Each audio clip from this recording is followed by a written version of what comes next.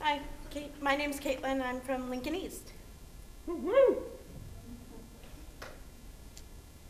In the silence is where I stay. I have them sealed away. My memories and feelings are now my lost dreams. Know that I am not an open book. You can't peek at my pages. No matter what people say or do to me, away in my heart's book, they will always stay. In the silence is where I stay. My mind is blank like an untouched page. I can no longer see the colors of the world that once existed around me. I can no longer feel the beating of my own heart. They're hidden deeper than the earth's crust can ever go. In the silence is where I stay. I am struggling, struggling to turn away. I don't want my memories and feelings to become my reality. Know that I am not an open book. However, if you can get me to open up, go ahead and take a look. For if you do, you won't find a page in my book that has not been bounded by chains. If you find the key, unlock the chains and open the book.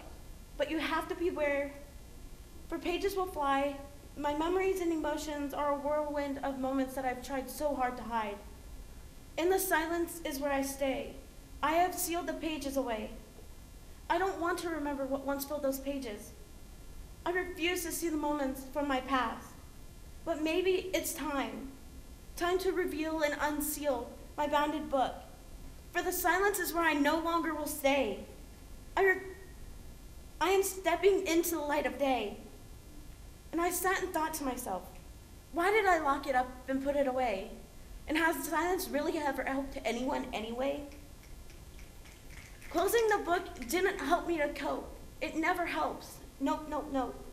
It was cowardly to try and erase and hide that part of me.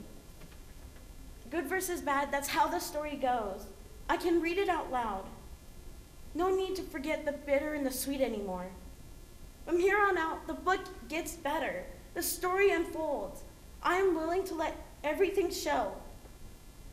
But if you feel so inclined, open up. Open your mind. Open your eyes and open your heart. We can come out of the silence and out of the dark. We don't need to stay in the silence and no need to hide away. In the silence, I no longer stay. Suicide, suicide would have kept me away. My story and my life need to be shared. More chapters to write, but not in my blood anymore. Find the light in life and bask in yours today.